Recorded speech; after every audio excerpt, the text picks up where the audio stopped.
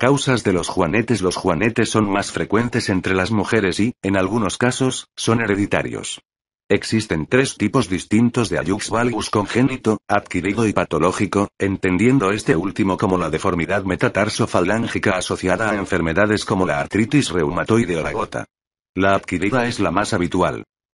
Ayux valgus congénito Los casos rarísimos de esta enfermedad son realmente anomalías congénitas de la articulación interfalángica del primer dedo.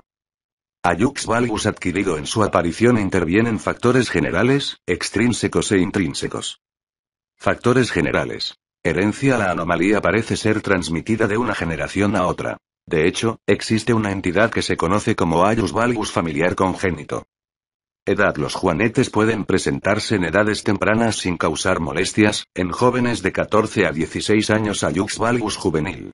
En el caso de los adultos, los juanetes son sintomáticos a partir de los 40 años ayux valgus del adulto.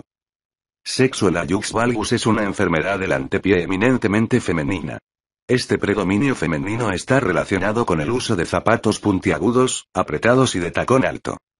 Factores extrínsecos. Muchos especialistas consideran el mal ajuste de los zapatos como la principal causa de los juanetes, pero la realidad es que personas que nunca han usado zapatos presentan esta deformidad, y personas que sí los usan no han desarrollado el ayux valgus.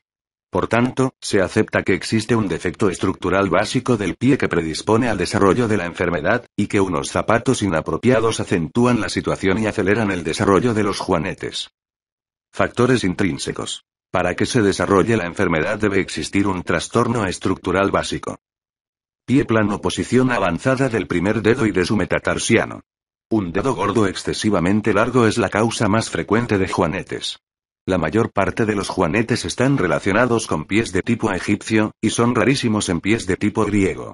El primer dedo largo dentro de un zapato queda comprimido, desviándose, lo cual crea un círculo vicioso que conduce al inicio y posterior desarrollo de la jux valgus.